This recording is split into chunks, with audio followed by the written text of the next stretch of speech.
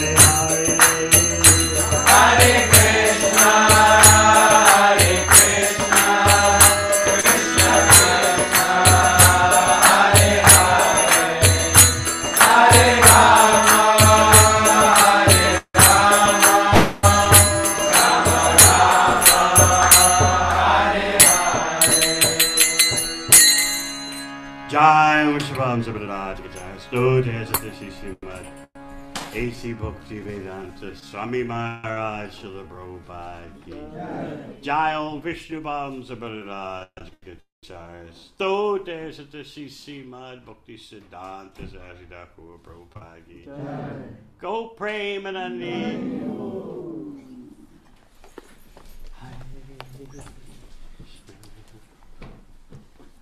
Hare Krishna. Krishna Krishna Hare Hare. Hare Rama.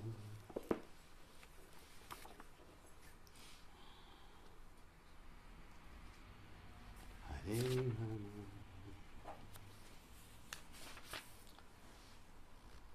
Om Namo Bhagavate Vasudevaya. Om Namo Bhagavate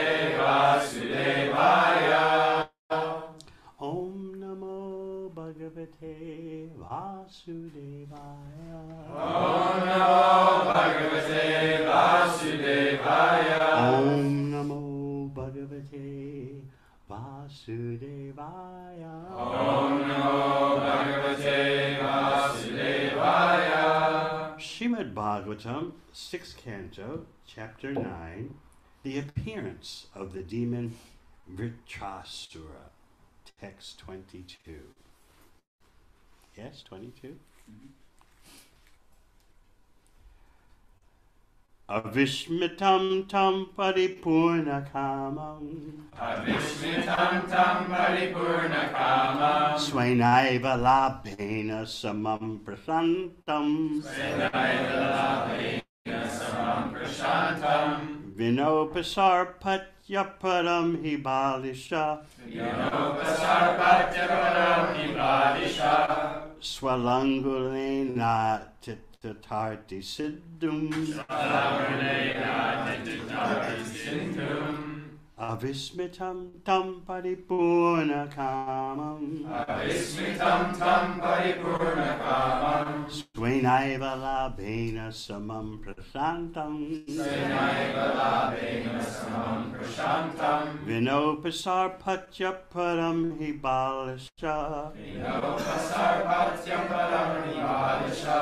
Salangulena titatarti sindhum Svalangulena tititarti sindhum. Avishmitam tam paripurna kamam Avishmitam tam paripurnakamam. Swainaiva labhena samam prasantam Senaiva labhena samam prashantam. Vinopasarpatya param hibalisha Vinopasarpatyaparam nibadisha. Swalangulena titatarti sindhum Svalangulena tititarti sindhum. अविस्मितं तं परिपूर्णकामम् अविस्मितं तं परिपूर्णकामम् स्वेनैव लाभेन समं प्रशान्तम् स्वेनैव लाभेन समं प्रशान्तम् विनोपसपत्यपरहि बालिशः। विनोपसपत्यपरहि बालिशः। स्वलाङ्गुलेनातितितर्तिसिन्धुं स्वलाङ्गुलेनातितितर्तिसिन्धुम् Tititarti sindhum. Avishmitam tam pariparna kamam Avishmitam tam paripurnakamam. Swaneva labena samam prashantam Senaiva labhena samam prashantam. Vinopasarparti aparam hibalasha Vinopasarpatyaparam nibadisha. Swalangulena tititarti sindhum Svalangulena tititarti sindhum. Vaishnavis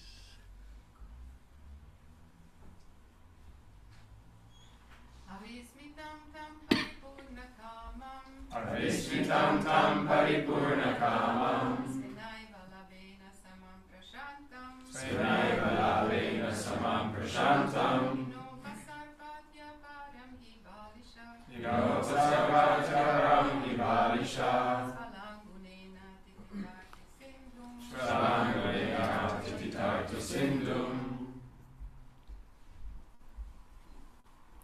Avishmitam. Avishmitam. Who is never struck with wonder. Who is never struck with wonder. Tam. Him. Him. Paripurnakamam. Paripurnakamam. Who is fully satisfied. Who is fully satisfied. Swena, Svena, by his own. by his own, Eva, Eva, indeed. indeed, Labena, achievements. achievements, Samam, Samam, equipoised. equipoise, Prasantam, Prashantam, very steady. very steady, Vina, Vina, without. without, Upasa, upasarpati, Upasarpati, approaches. approaches, Aparam, Aparam, another. another, He, He, indeed. indeed, Balisha, Vaisha, a fool. a fool, of a dog. a dog, Langulena, Langulena, by the tail. by the Atitatati, wants to cross. wants to cross, Sindung, Sindung, the sea. the sea, Translation Free from all material conceptions of existence and never wonderstruck by anything, the Lord is always jubilant and fully satisfied by his own spiritual perfection. He has no material designations, and therefore he is steady and unattached. That Supreme Personality of Godhead is the only shelter of everyone. Anyone desiring to be protected by others is certainly a great fool who desires to cross the sea by holding the tail of a dog. Purport. A dog can swim in the water, but if a dog dives in the ocean and someone wants to cross the ocean by holding the dog's tail, he is certainly fool number one. A dog cannot cross the ocean, nor can a person cross the ocean by catching a dog's tail. Similarly, one who desires to cross the ocean of nations should not seek the shelter of any demigod or anyone else, but the fearless shelter of the Supreme Personality of Godhead. Srimad Bhagavatam therefore says, Samashritaye parapallava plavam mahatpadam punya yashomarade bhavam buddhir vatsa padam padam padam padam padam yadvipadam natesham. The Lord's lotus feet are an indestructible boat, indestructible boat. And if one takes shelter of that boat, he can easily cross the ocean of nations. Consequently, there are no dangers for a devotee, although he lives within this material world, which is full of dangers at every step. One should seek the shelter of the all powerful instead of trying to be protected by one's own concocted ideas. Translation again. Free from all material conceptions of existence and never wonderstruck by anything, the Lord is always jubilant and fully satisfied by his own spiritual perfection.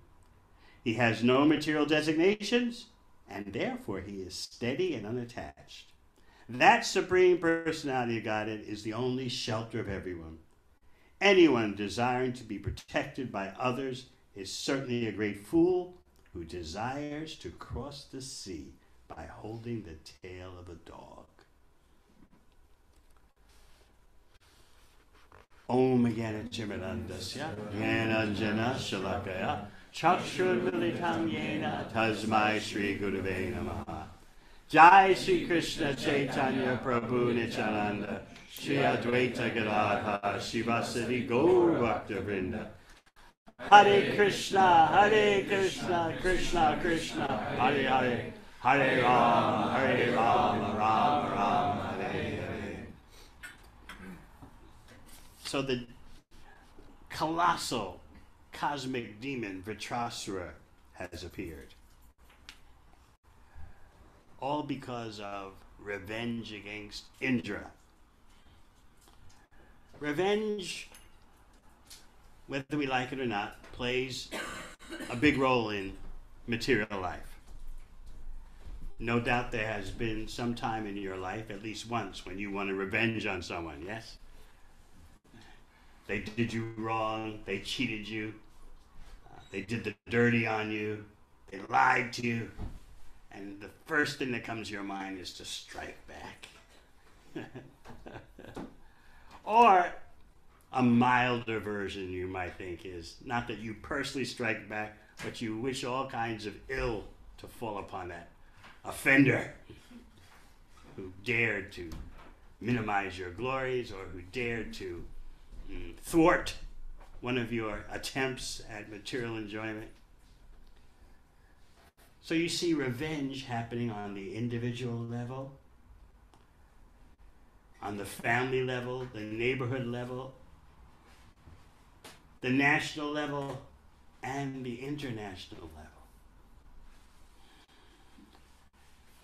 In Kali Yuga, especially, conditioned souls have a very hard time letting go of grievances. He did this to me, she did that to me. This group of people did this, this group of people did that, this nation did this, this nation did that. This harboring of revenge is a form of sense gratification. When you are possessed by such feelings of wanting revenge, to strike back, to retaliate, there seems to be some kind of fulfillment, some kind of pleasure in that. When I vent my wrath upon you one way or another, I'll feel good. I'll let it out. That's Kali Yuga society. Kali Yuga psychology. Whatever you feel inside, vent it, and then you'll feel better. To lock it up inside is very unhealthy. This is what Kali Yuga denizens think of the Bhakti Yoga lifestyle. Oh, you guys and girls must be locking so much inside you. It's very psychologically unhealthy. Just let it out, whatever it is lust, anger, whatever. Get it, off, get it off your shoulders, get it off your chest. Things will be better. of course things just become more of a mess. but Maya is so inviting. Just let go of your mind and senses. Let them go their natural way. Or follow your intuition. or even, as we said the other day, listen to your body. If your body gives a good feeling from something, that means it's morally right. If your body gives a bad feeling, then it's not good for you. Trust your body. this is Kali Yuga intelligence. And in the activities of the age of darkness and quarrel, revenge plays a very important role. So you can remember in your life when, even though you may not have retaliated, you certainly in your mind retaliated a thousand times.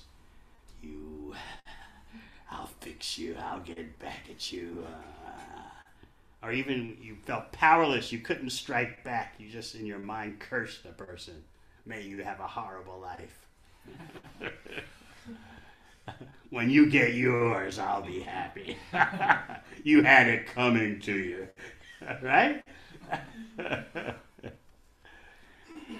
now, shockingly, this goes on in the heavenly planets.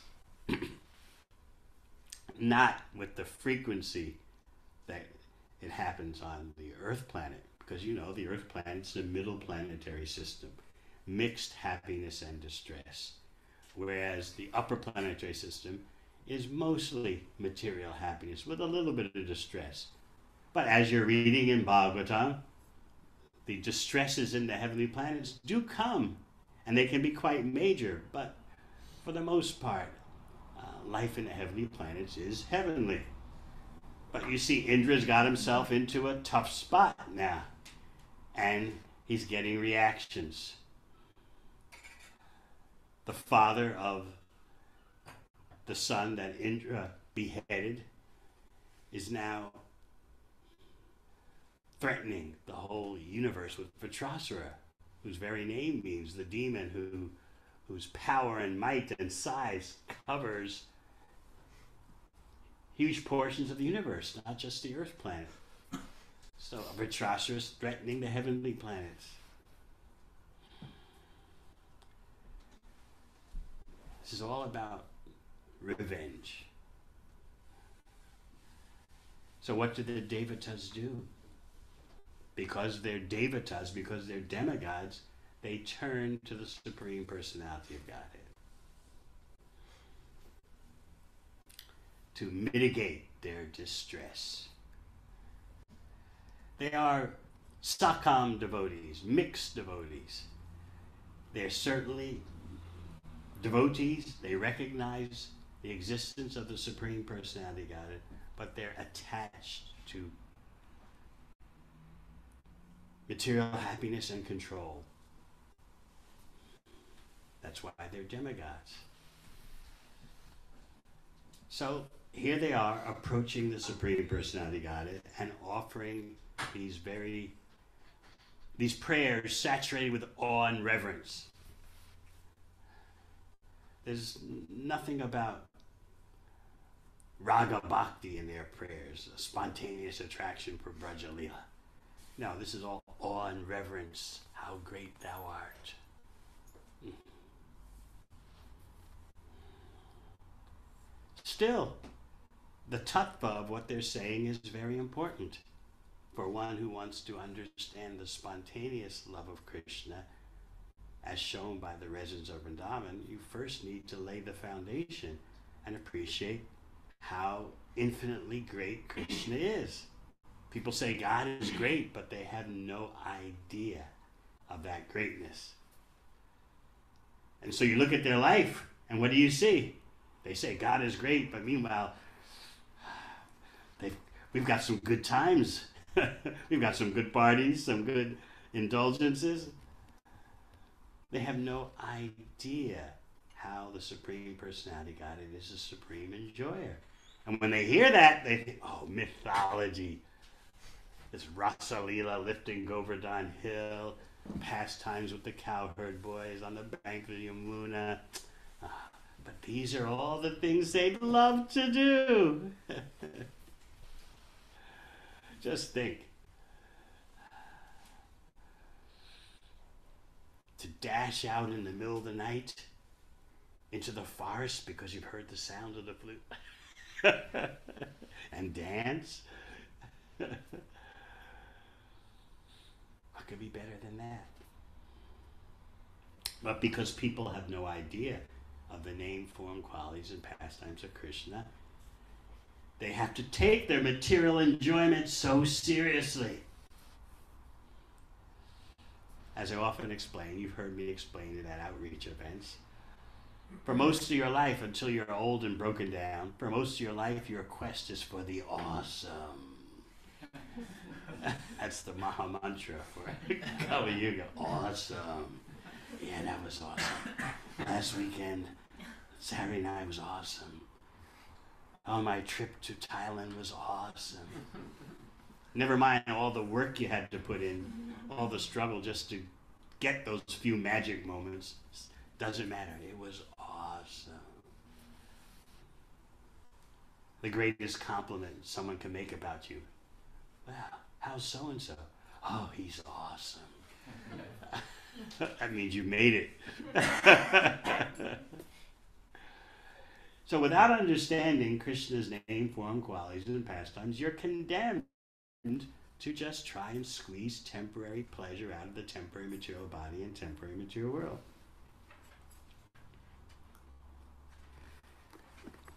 But what the Devatas are praying is very significant tattva. Although it's all in awe and reverence, veneration of the power and glory and might of the Supreme Personality God. But that is the beginning. As the Christian Bible says, the fear of the Lord is the beginning of wisdom. That's true. But there's a lot beyond that. The fear of God is the beginning of wisdom, but it's not the end of wisdom. But it's good to have at least the beginning. That I'm controlled by time.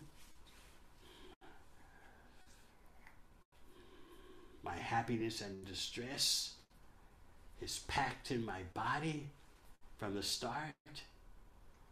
I'm a puppet in the hands of the material energy, thinking I'm free, autonomous, and individually expressive. So the fear of the Lord is the beginning of wisdom, but it's not the end. The end of wisdom, of course, is spontaneous love of Krishna as shown by the residents of Vrindavan. So the demigods are praying, free from all material conceptions of existence. What does it mean to have a material conception of existence? It means that I, I am the body, I am my senses, and I have the pride that with my body and senses, I can acquire material pleasure. I have that kind of pride and confidence. I've got that mission embedded in me. I can do it. So what if it's just for a few moments? I can do it. Everyone else is. And there doesn't seem to be anything better on offer, on tap. So don't blame me. I didn't make this world. I'm an innocent bystander, just, you know, just trying to get some satisfaction, help a few others to get some satisfaction. I'm not a miser, I, you know. I I get high with a little help from my friends. I'm charitable. I'm sociable. so the material conception of existence means to be trapped in the consciousness that I am the controller and enjoyer. Remember, in order to enjoy in material life, you have to control to some degree. So next, they say, mhm, Avishmitam, one who is never wonderstruck by anything. But on the platform of spontaneous love, this is not true. But from the material point of view, it's true. The Supreme Personality God is never wonderstruck by anything. But when it comes to the spontaneous love of his devotees, he's wonderstruck.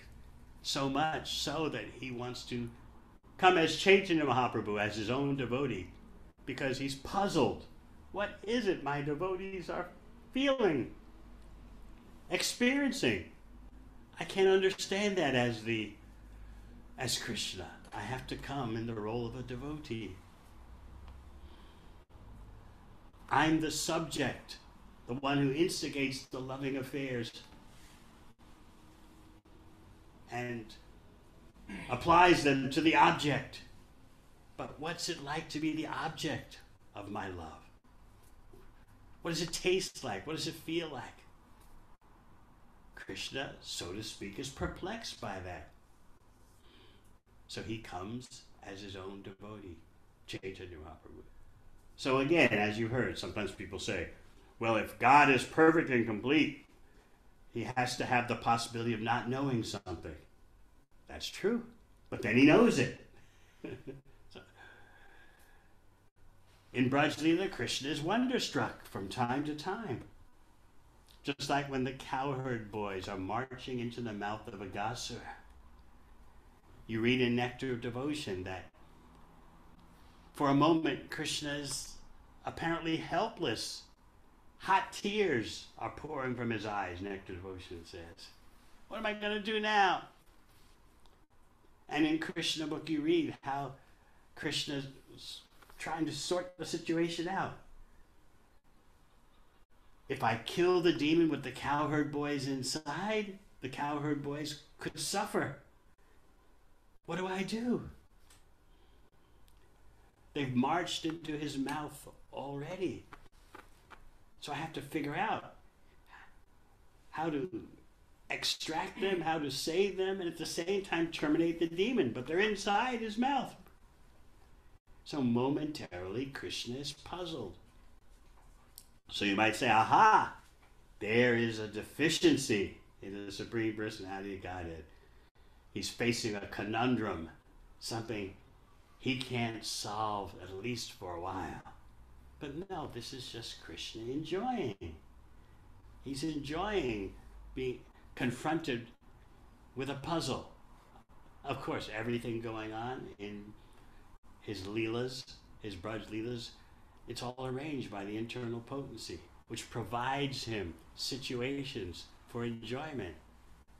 And so, I can't understand this. What, what to do? That's a for Krishna. That's a pleasure. For us, it's anxiety. Oh no. I'm sure you've all been confronted with situations which perplex you. What do I do now? Oh. If I go right, it's a problem. If I go left, it's a problem. If I stand still, it's a problem. Oh no. This is what Arjuna faced in the very beginning of Bhagavad Gita. He presented to Krishna that every option that I analyze is unfavorable. I don't see how any good can come out of my participating in this battle of Kurukshetra. I only see reverses. I only see the opposite of what of a favorable outcome. So for the ordinary person to to be perplexed is a liability. You don't want that. You want to understand everything. That's necessary for your sense gratification. And if anyone can help you, give you tips for better sense gratification, for better control and enjoyment of material life, if anyone can do that, oh, that's my friend, that's my well wisher. Thank you. You've helped me to have happy days, happy nights. Thank you. That's what friends are for. so Krishna's being wonderstruck is just a manifestation of his enjoying his lila, his pastimes. Oh, what am I going to do now? The cowherd boys are in Aghasura's mouth. It may be hard for you to understand, but this is Krishna enjoying. Oh, this is a very difficult situation. What to do? You'd be in total anxiety confronted by such. But Krishna is enjoying. I, I, can't for a moment figure this out. It's pleasure. This is why people play games like chess, or I don't know if any of you used to play with Rubik's Cube. Anyone? So you, you were relishing in your perverted material way. You were relishing being perplexed. Okay, I got the Rubik's Cube. What do I do? How do I? I forget how it works, but anyway, I never dealt with it. But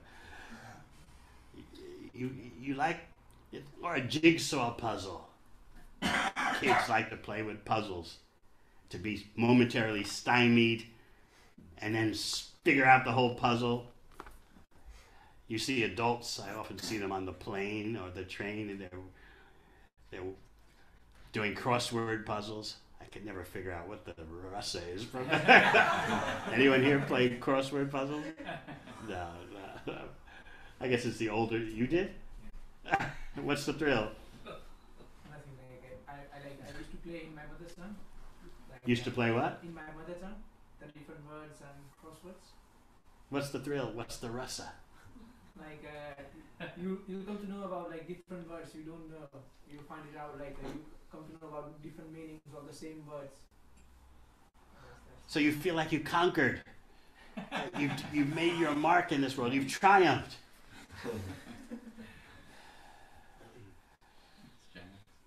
So we're trying to imitate Krishna in his enjoying being puzzled, wonderstruck. What am I going to do now?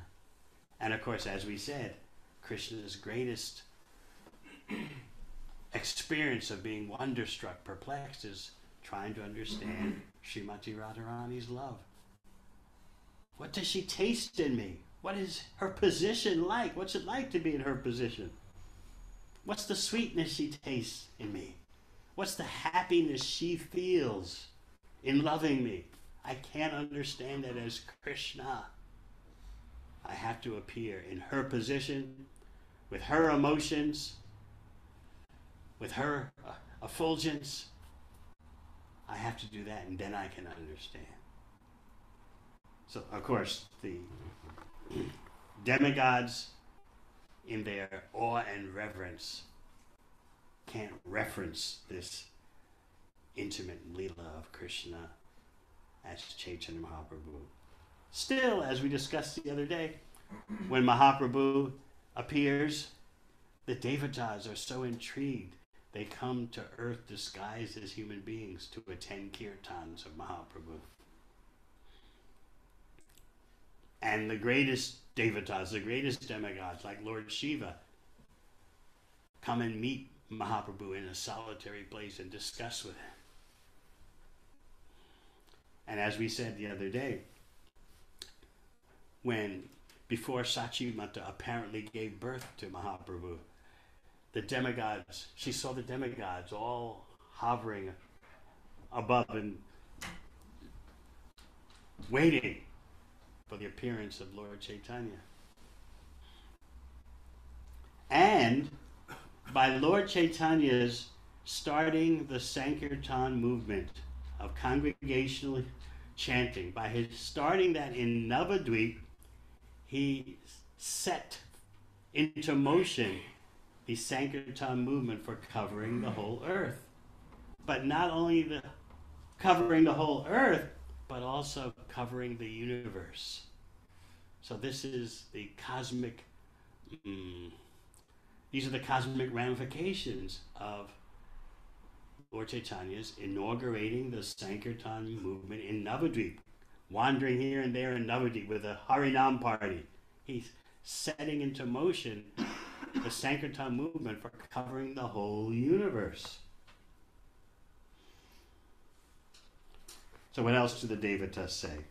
He's always jubilant, fully satisfied by his own spiritual perfection. He has no material designations, and therefore he is steady and unattached. That's something for you to think about.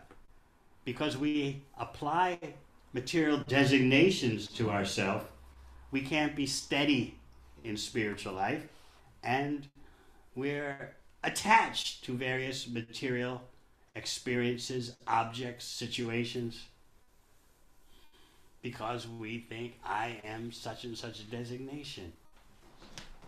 I have this type of body, and therefore I have these kind of needs and these kind of pursuits of happiness because I am such and such a body. But of course, Krishna, the Supreme Personality Godhead, has no material designations. But if you want to know the truth, the Acharyas explain why there is apparently some little perverted, distorted pleasure in bodily relationships. This is my brother, this is my mother, this is my child. Why is that? Why there's there seems to be something there, right? it's because of Krishna's family affairs in the topmost portion of the spiritual world. Yashoda Nandana. Transcendental designation. I'm the son of Mother Yashoda. Nanda Nandana, the son of Nanda Maharaj. Because of the all spiritual pleasure between the spiritual bodies, the all spiritual bodies in Braj, that pervertedly reflects into the material world. And so there's a little glimmer, a little ray of pleasure in family identification, kinship systems, even mm, nationalism. We're all of the same body. There's a little bit of apparent meaningfulness in that, but it's not enough to anywhere to come anywhere near satisfying you, and actually it ends in frustration.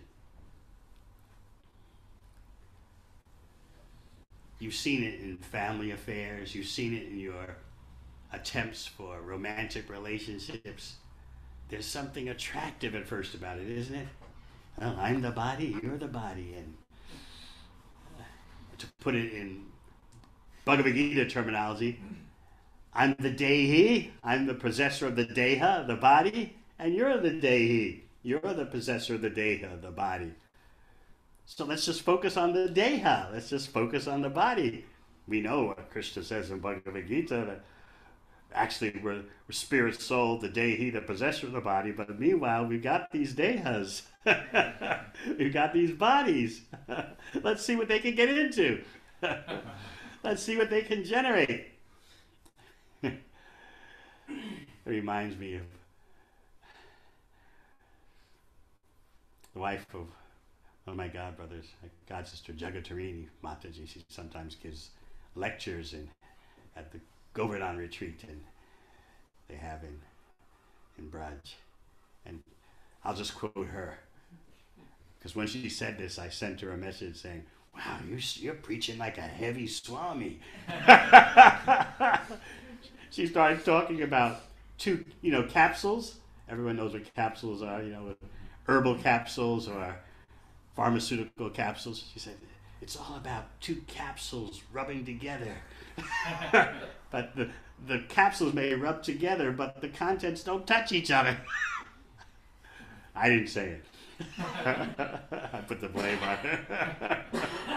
but it's actually a very appropriate example. No matter how hard the two capsules rub together, their contents never touch. In other words, the material activities of the living entity have nothing to do with the spirit soul. The spirit soul is aloof, untouched. Asanga Hyam Purusha, the Shastra says. There's actually never a connection between the material body and the spirit soul. There's an imaginary connection.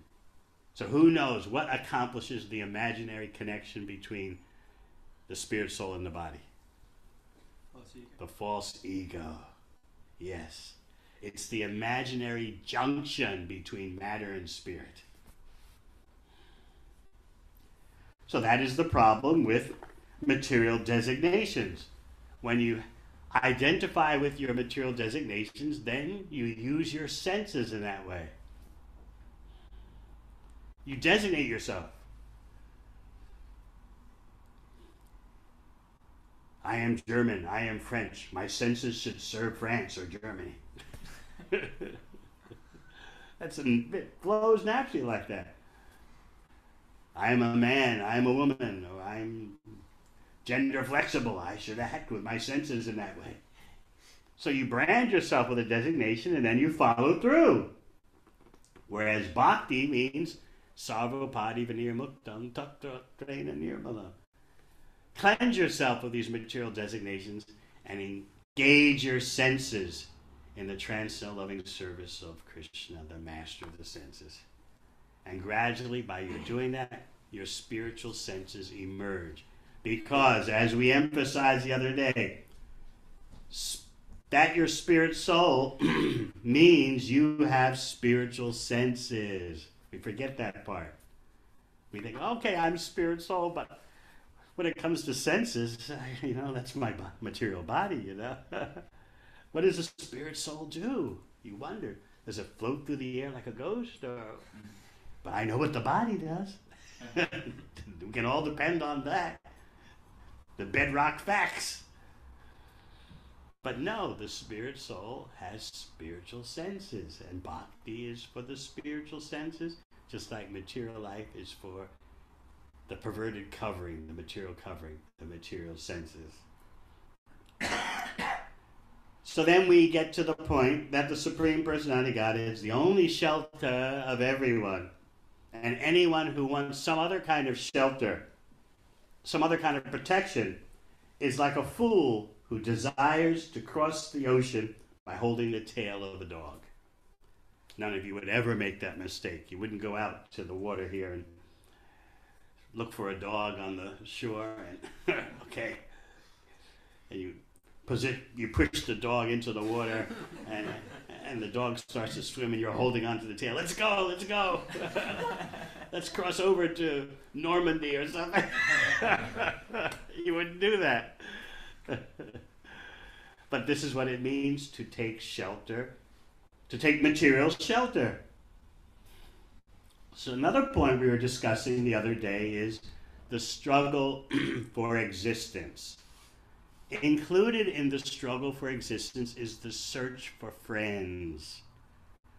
Because you feel alone, you feel uh, incomplete. So whether you're male, female, in between, what what have you, whether you're young or old, you, you're always on this quest for a real friend. Someone will stand by you.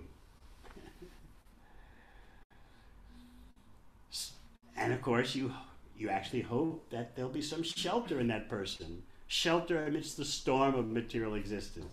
So, can you see that? So much of your life is meant for, is dedicated to searching for that best friend. Whether romantic partner, mm, parent, child, national leader, everyone's looking for someone who will give them protection and help advance your your own interests. That's a friend. That's what friends are for. Persons who will help you in grabbing happiness and beating off distress. So can you see that in your life? Consciously or unconsciously, you've been looking for the best friend. You try hanging out with this group, right? You try hanging out with that group. You try this partner. You try that partner. Oh, I'll have a child. That child will be it for me. You're always looking for someone, some way, somehow, who's going to be the shelter, who's going to accompany you as you battle material existence.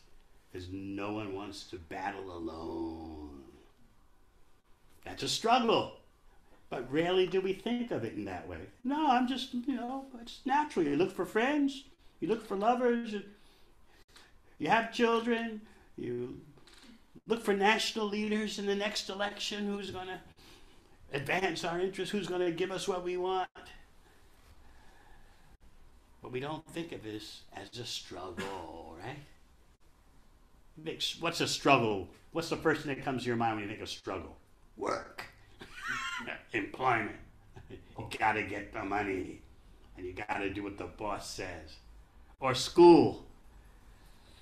You've got to follow the curriculum and take your exams. That's a struggle. But you don't think of your quest for shelter from friendship, romance, social protection. You don't think of that as a struggle for existence.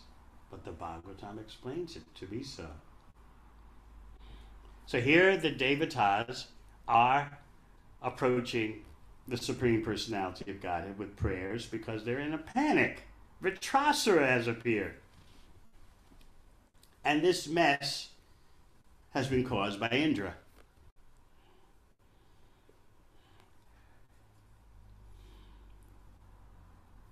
Indra's a very interesting personality. He's a Devata, he's the Lord of Heaven. But he has his moments why does he have his moments? You know in Govardhan Lila.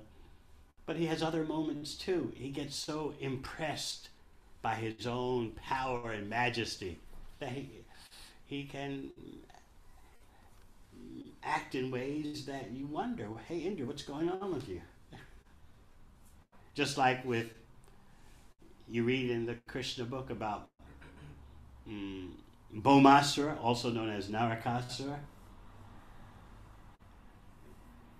Indra was feeling so threatened by Narakasura that he went to Dwarka to personally request Krishna, please do something about Narakasura or. Please do something about him. And he came to the Sudharma assembly hall where Krishna holds forth as the prince of the Yadu dynasty, because the officially the king of the Yadu dynasty is Ugrasena. So Krishna is a prince. So Indra comes in and bows down, touching his helmet at Krishna's feet, requesting Krishna, please, this Narakasura is getting too much. Only you can do something about it. So what does Krishna do? he calls for Garuda, and with his very feisty wife, Satyabhama, they climb on Garuda and they go to battle with the forces of Narakasura. So why did he take such a Satyabhama to battle? And you read in the Krishna book, it was a ferocious battle. wave after wave of demons were attacking, and Krishna is dealing with them all. Even Garuda is helping beat back the Asuras with his beak, pecking at them and knocking them off their horses and elephants with his wings. And there's Krishna with Satyabhama. Why? Does a, does a warrior usually go to battle with, with the wife by his side? But Krishna is doing that because he wanted Satyabhama to have a thrill seeing the whole battle scene.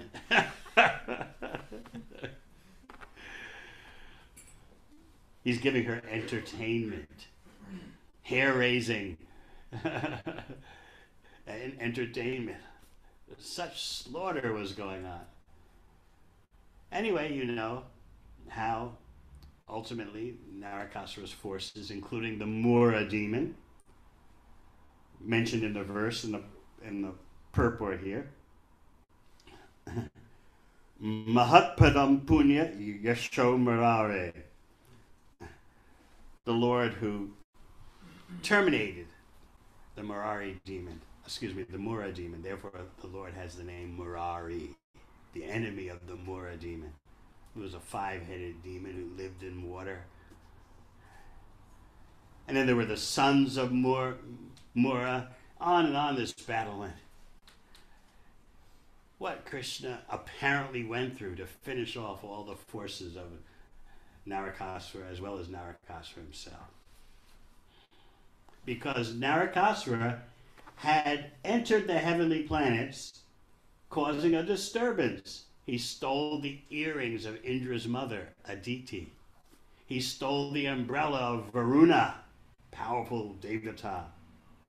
And he also caused havoc at the playground, the pleasure holiday spot of the Devatas on the top of Mandara Mountain. Just like you might try to go to Spain for to catch some sunshine and warm waters, beach. So the Devatas have their heavenly holiday spots. But Narakasura co opted all that.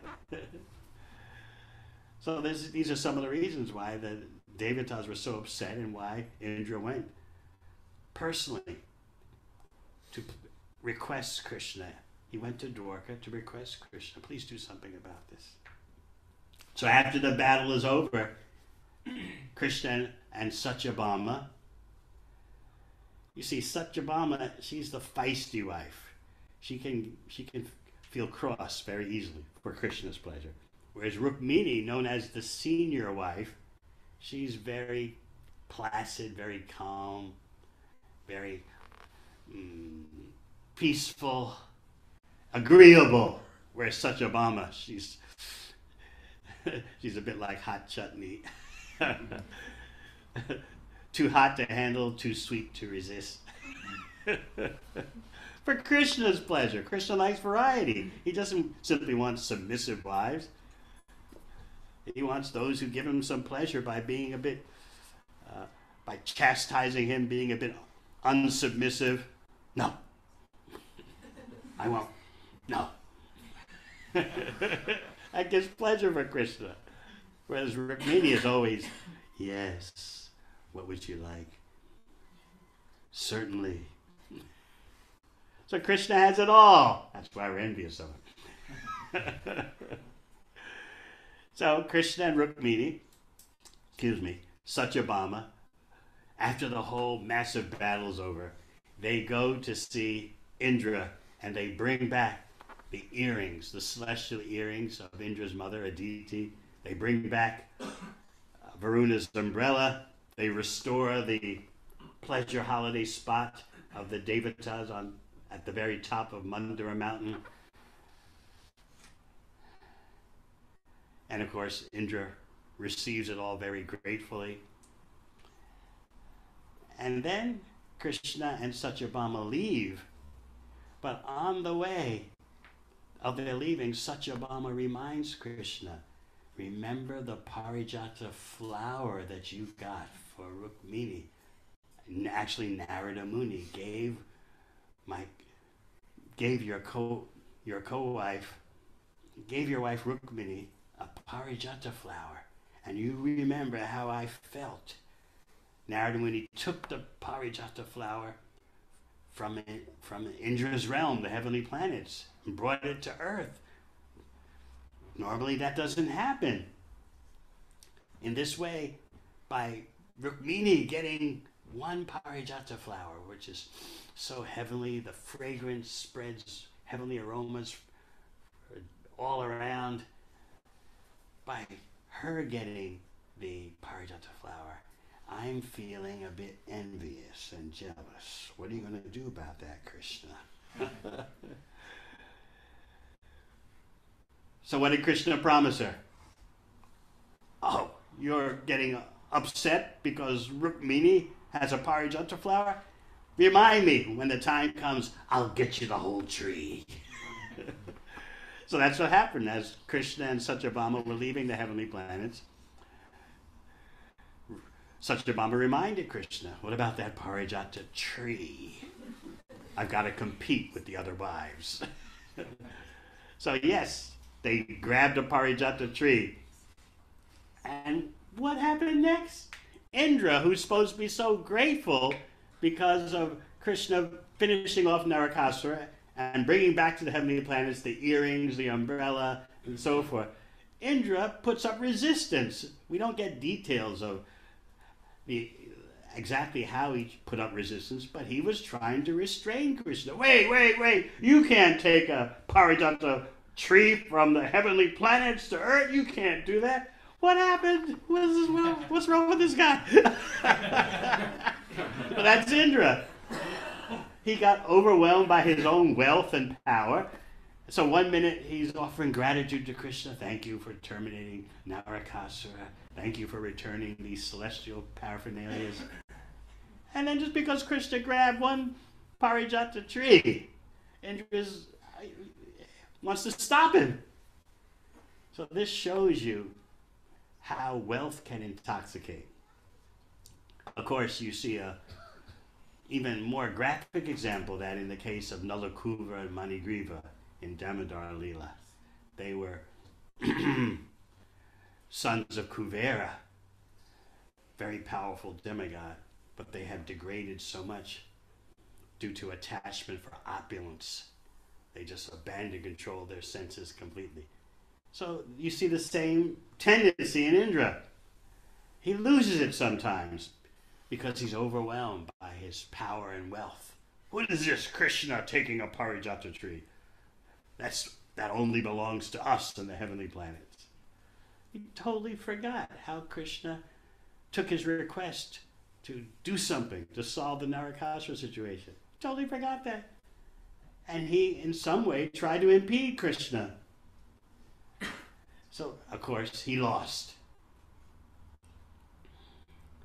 And I like what Srila Prabhupada explains. He said, What was Indra thinking, besides being his mind being overwhelmed by his own power and wealth? He was also thinking, This Krishna is henpecked. Just because that feisty Satyabhama wants to compete with the other wife, Rukmini, Krishna grabs a Parijata tree. He's henpecked. But Prabhupada explains that actually this is arupita. This is Indra imposing on others the qualities he himself has. He's attached to his wife Sachi, and so he's thinking, "This is what, this is the situation of Krishna. He's attached. He's henpecked by Satyabhama. Just in other words, I know I'm henpecked. I'm I'm, I'm attached. So, you know." Uh, happy wife means happy life. that must be the case with Krishna. so this is life in the heavenly planets. It's not free from intrigue. It's not free from problems. Of course, what do we say about that? Yeah, it's not free of problems. And Krishna says in Bhagavad Gita, Abrahma Bhuvana Loka Punarvatino Arjuna, from the highest planet in the universe down to the lowest, all are places of misery. Yeah, but we've heard that the sense gratificatory experience in the heavenly planets is thousands of times more intense than on Earth. Never mind that the demons sometimes cause havoc in the heavenly planets. Never mind that the lifespan of the Devatas will come to an end. Never mind all that. Just give me those magic moments. Awesome. this is the Kali Yuga vision.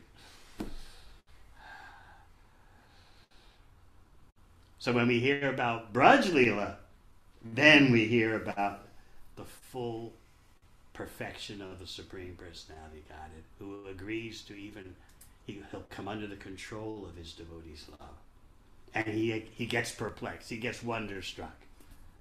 Ah, what kind of love is this? There used to be so many pop songs before everyone got so cynical these days. What kind of love is this?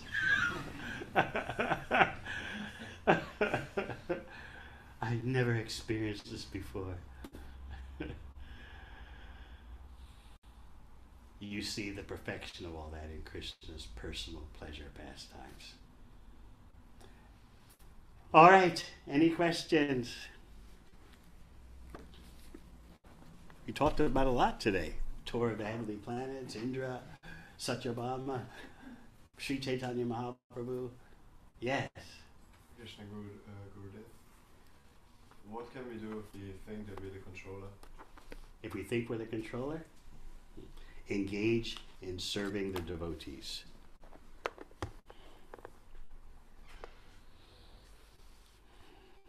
And engage in helping to bring about other persons becoming devotees. Serve Sri Chaitanya Mahaprabhu in Dasyaras as a servant of Lord Chaitanya, a dedicated servant. Through the service to Mahaprabhu's lotus feet, all the other glories of relationships with Krishna open up to you. Otherwise, it's very difficult to establish a relationship with Krishna in this age of Kali. But if you go through Lord Chaitanya, that's the secret of success. yes. Krishna Guru Maharaj. Um, so I'm just um, wondering, at the beginning of class, you mentioned that before we can really appreciate Krishna, Braj Leela, we, we have to lay the foundations of That's Bhagavad Gita. Bhagavad Gita lays the foundations. As Krishna says in the Gita, he, the one who actually understands my power and glory, will engage in devotional service. Bhagavad Gita is the beginning. And then Bhagavatam will, by the time of the 10th canto, introduce you to Krishna Lila and the love of the residents of Vrindavan. And then Chaitanya Charitamrita will introduce you to Radha Tattva. Because that's what Chaitanya Mahaprabhu came to understand. So would you say, in order to maintain that level of respect, that foundation, you should always read Bhagavad Gita regardless of what level one is? In Bhagavatam and Chaitanya Charitamrita, Prabhupada has so wondrously given us so many Bhagavad Gita verses in the purport.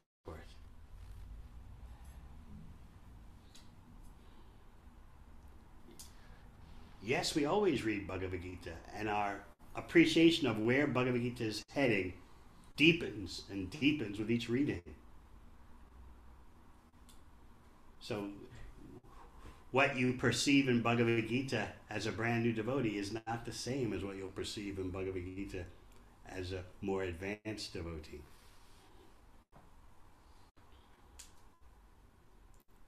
Krishna says in the Gita twice, Manmana Bhava Mad Bhakto, always think of me.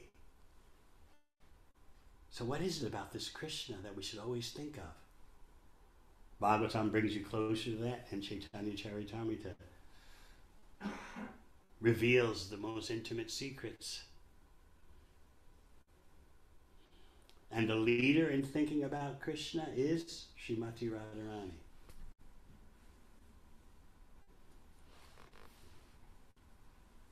Yes. Hare Um, so, when it comes to tough lessons in bhakti, um, I generally I recognize that there's two there's two ways it usually goes. Firstly, there's that initial reaction of oh, like you, you got punched in the stomach kind of thing. Can you give me an example of a tough lesson in bhakti? There's- Well, Did everyone else had pizza prasad? There was none left for you. no, Maharaj. Okay, give me an example, please. Well, uh, well, I'm thinking about the lesson you gave the other day on Prahlad Maharaj and, and what he said to his friends. That's a tough lesson. It's Well- humiliating. Well, let's go with that. Like um, Let's go with what? his example. Okay. Um, so It's not going to be too much for you to think about it. no, no. Okay, I want to make it easy on you. Then. So then, then afterwards, then then you get some kind of uh, realization or, or something like that that makes you think, oh, you know, that that experience was worth it. That that makes it okay, sort of thing. But nevertheless, when when that tough lesson comes again in a different way, then that initial bitterness or that initial like uh, feeling of dejectedness is is still there, and the quality doesn't seem to change. What can we do to find new freshness In what? it well in in the tough lessons that come, so we don't feel like we're getting worn out every single. Um, Well, Give me a. I'm missing what was precisely you're talking about. You got to s- explain what what's the situation. All right, use eating ice cream as an example. Can you do that? Will that help? uh, Wh- What situations are you talking about? sorry, not right. I've, I've drawn, drawn a blank. Uh, okay, it's hard for me to answer. It's a tough lesson. You mean to understand what Prahlad is saying? That tough? Or th- what he says is tough? It's tough. Sounds like tough love. He's ruining all the fun by his saying, uh, Sarvatra labhyate daivad. You get that same flavor in any species of life. That's that's a tough pill to swallow. I think Joe Prabhu could Yeah, interject. here. um, but I think you mean that there's lessons sometimes that are tough to swallow, and then later on you understand that actually no, it's, it's a good lesson. Like what though? I need an example. Prahlad Maharaj, the Prahlad example is that our enjoyment as an animal would be just the same flavour as as a human. So there's, there's no point chasing these Yes. material pleasures. So that's called a.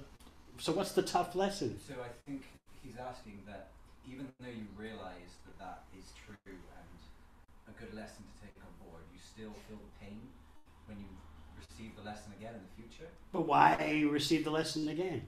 No, not like it, it could be like a, a different lesson, but like still tough sort of thing. It's like uh we- it wears us out instead of makes us more like. What excited. wears you out? Kakanapru, can you help? Trying. Can anyone help? I'm lost here. Please, anyone. Maybe he's saying like, wh- why do we have to be continually humiliated or humbled? Like we get humbled once, but why do we have to get humbled again? Oh, what Krishna says in Bhagavad Gita, mudha janmani janmani. Birth after birth, you'll be a fool. Not just one lifetime, but birth after birth. Because Maya is falsely attractive. And our attraction to Krishna hasn't developed enough to overpower our attraction to Maya. That's why it's called Maya. It looks so good, doesn't it? There'll be fulfillment, there'll be satisfaction, or at least there'll be something to do on a cold winter night. you look out the window, you see ice on the roads, and like a couple of days ago, you know, the wind is howling.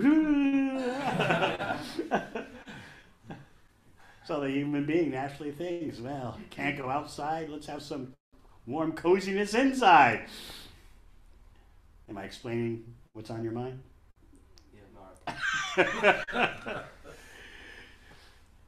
With knowledge, you control your mind and senses. Otherwise, there can be no advancement in your life. Yes, it's true. The material energy looks so good. That's why it's called Maya. False promises. Through knowledge and chanting Hare Krishna attentively, you can battle back. This human form of life you have is a crossroads. It's a junction. You can go up or you can go down. You can't do that in any other species of life. Other bodies, you're carried along by the, the laws of nature. But human form of life, you've got your options. Gonna go up, you're gonna go down.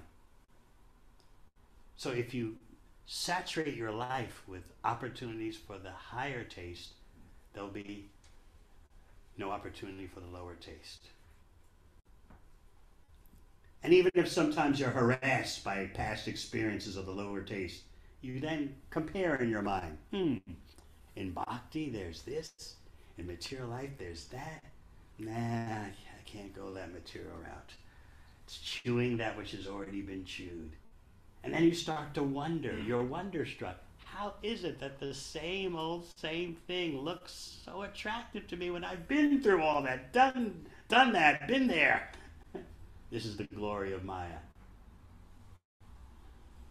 So the more you take to chanting Hare Krishna with determination, the more your life will be a success. I, I was just wondering the past few days, I was reading one purport where Prabhupada said, and he says it several times in purports, that in this age of Kali, you can very easily cross over the ocean of material existence by chanting Hare Krishna. So I'm thinking very easily cross over the ocean of material existence just by chanting Hare Krishna. Well, I should do that. I should easily cross over. But you're saying, well, what about those allurements? What about those illusions, right? But you can, by taking shelter of the Hare Krishna mantra, you can defeat those illusions. But yes, you really have to be a dedicated chanter. That's why I like it when I come here and I see the devotees chanting Hare Krishna with deep sincerity. I know they can conquer that way. If they just keep doing that, they'll conquer. Anything else? Let's Vaishnavis, any questions?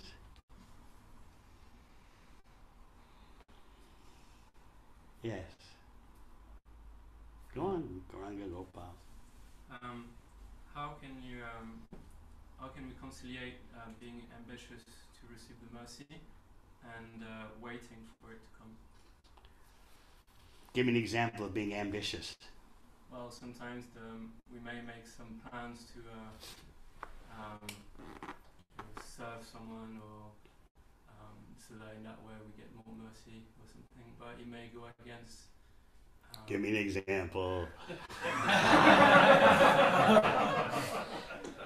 well, um, or practically, um, you know, the mind, my mind may makes may make plan to uh, um, just you know serve you or thing like that, serve the spiritual master, but at the same time knows that well it's not the appropriate thing to do necessarily because uh, other devotees may be doing it already.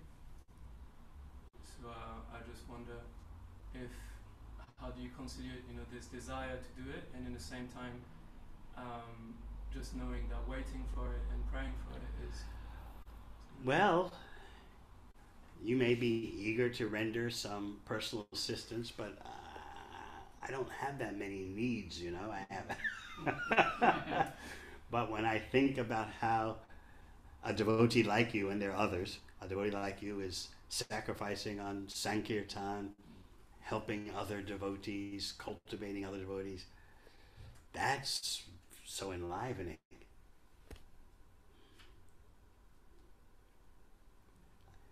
I remember one situation. There was one devotee very attached to Prabhupada's physical service, and he he just couldn't give that up. Whereas Prabhupada was seeing that this devotee had potential for going out into the field and into the preaching field and doing wonderful service for spreading Lord Chaitanya's mission. So I know this for a fact because the devotee told me. So the devotee, so what Prabhupada did was very ingenious.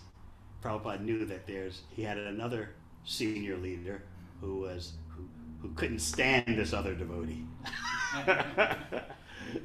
so Prabhupada said in private to that other leader who couldn't stand that devotee, you know, so and so is really off. You know, he's, he's just, uh, just not all there in, in Krishna consciousness. And of course, that devotee, I always knew it. and he, and he went and told the other devotee, you know what Prabhupada just said about you.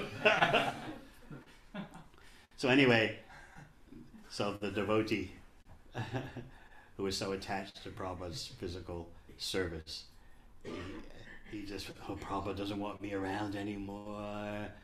Oh, he's, he's said such things about me to my enemy. so he left, and he left Prabhupada's physical service and went out to preach. And before Prabhupada's disappearance, Prabhupada explained to him, You thought I was kicking you out. I just couldn't stand seeing you with your potential just doing menial tasks for me. So I had to get you out there and so you would accomplish great things. So then the devotee understood. He was crying. Oh, thank you, Prabhupada. Get the point.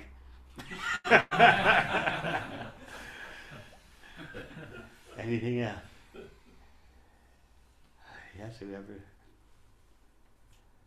Say something. um, I'm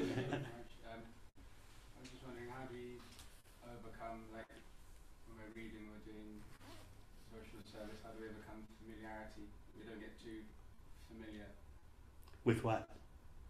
It could just be um, you're taking care of all the time, then you think um, you've done it many times, we become overly confident at you, doing something. While you're whatever service you're doing, when you get that feeling, oh, I've done this so many times, it's the same old, same old, that's the time to beg for mercy. This is misperception. This is my mind concocting. And you have to beg that you rise above it. It's, the, it's humiliating and it's time for begging when you start feeling it's the same old, same thing. This is misperception. But if you take it seriously, yeah, it's the same old, same thing, then you provided a fast motorway into your life by the material energy, by Maya. Yeah, it's the same old, same thing. Come on, Tyler. How long are you to do this? Get real. I mean, what about your senses? What about your body? What about your potential? so it all starts with familiarity with bhakti activity. You start getting dissatisfied with your service, and then you start getting dissatisfied with the association of devotees. Oh, the Prabhus and the ashram. God, ah, I see the same ones every day. They don't appreciate me. They don't know my real glories. They just get in my way. They bug me sometimes. So everything starts to degenerate then.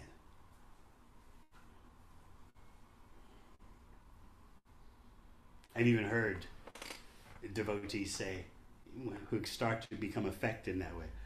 Devotees just talk about the same things. As if material life has so many different subject matters. What does Bhagavatam say? Mm. Shrotavyadini Rajendra Nrinam Santi Sahasrasa. Yes, there's so many topics for material life to talk about. Uh, Apashyatam Atmatattvam, um, while you're being blind to your own self realization. Griheshu Grihamedhinam, um, those who are attached to their material life and can't control their mind and senses have many things to talk about, but it's actually all comes down to the same thing.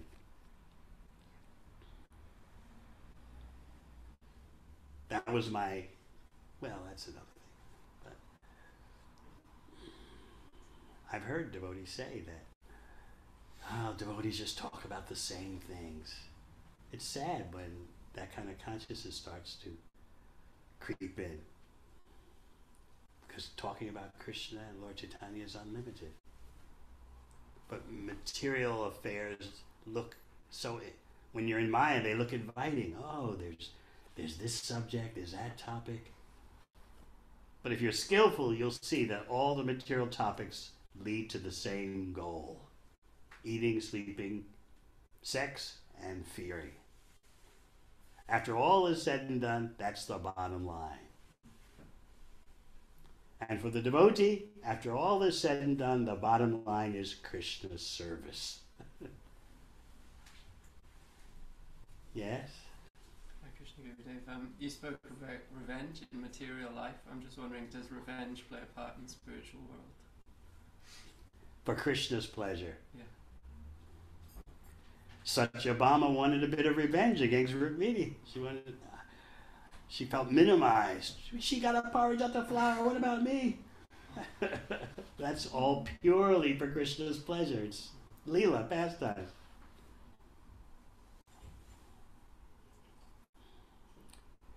Yes. Hare Krishna Maharaj.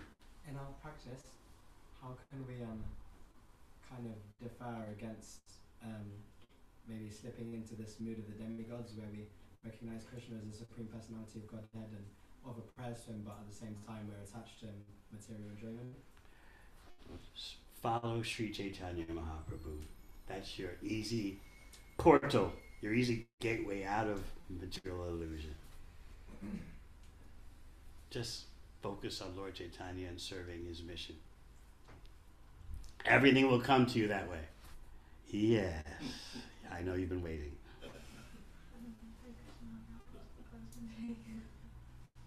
How do you um, make peace with where you're where you are, um, but still have the goal? What do you mean by making peace for where you are? Like, I was trying to think of an example. Like, uh, for example, my senses have been really hankering for like an outfit I found online. But at the same time, uh, I know that uh, I should like this. The the the goal is to be satisfied with whatever Krishna gives you. So I've been like, like, like constantly. So you saw a nice sari online. Is that it? That wasn't a sign. Just analyze how is that really going to improve your spiritual life? Think in that way. Hmm. Is it what's the feeling you're what's the rasa you're going to taste by this material acquisition? What is it? You're more you? You mean you're more the body? like, I think like, I feel more like myself because I. You feel like what is yourself? You have to think in that way. Use your intelligence. They didn't teach you this at the university, did they? they taught you how to be a consumer. So you have to use your spiritual intelligence, develop it, so that you'll think, well, if I, what, what's the need for this acquisition? I don't have enough clothes. I'm wearing rags.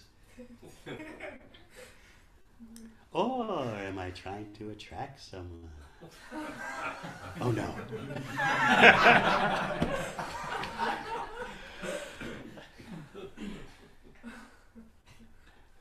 well, I think your bhakti qualities are sufficient. What do you say about that? okay. Anything else? Yes. Last question. you mentioned last week that uh, the devotee, uh, or the aspiring devotee, should know where he is at in order to and read accordingly. In order to what? And, and read uh, the, the scriptures according to where we are at. Uh, if we are beginner, we should focus on Yes, I meant you don't read like uh, Chaitanya Charitamrita's Gopi Lila and Radha Tattva and think, oh yeah, that's, I'm right there with it. That's I'm right there with it. So I was wondering, uh, as a neophyte, why are, are we advised to also read Chaitanya Charitamrita and the 10th canto of? But as I explained carefully,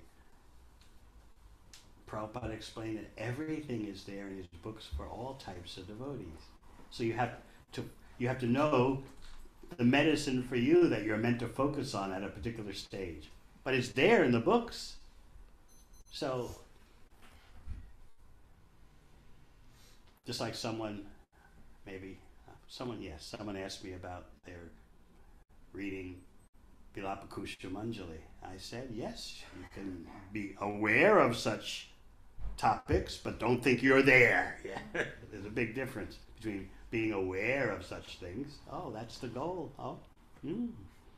okay, one day. Let me purify myself. Let me serve Mahaprabhu. And now all that can open up to me when the Lord wants. So you may be you may inform yourself of such topics, but you don't jump to the top level of the tree. As Prabhupada said, don't jump like monkeys. you have to keep in mind where you're at.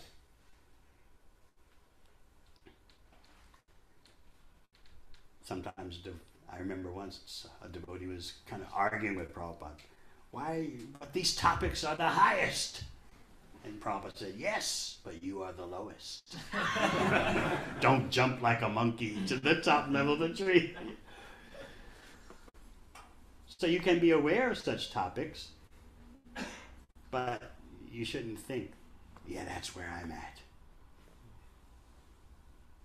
Just like a child studying a 1 plus 1 equals 2 and 2 plus 2 equals 4 the child may be aware that there's such a thing as advanced mathematics, but the child knows he or she's not there yet at that level. But the child may be aware.